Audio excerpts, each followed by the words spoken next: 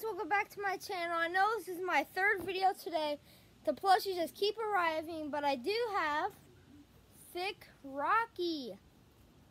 Woo, let's get Thick Rocky unboxed. So it looks like there's a little bit of ties. So all you have to do is just untie that. Pretty simple. It's kind of got to mess with it. You can see I'm not really doing anything with my hands. And you just open it like this. Yeah, and you guys already know who it is. It's the one himself. The Thick Rocky. Look at Thick Rocky. He's got an ice cream cone in his hand. It says Rocky on the back. It's Rocky Road ice cream. Yeah. It's even got the card right here. So it says, oh, this one says, if you let it just sit for like 24 hours, it will be fully to its super thick form.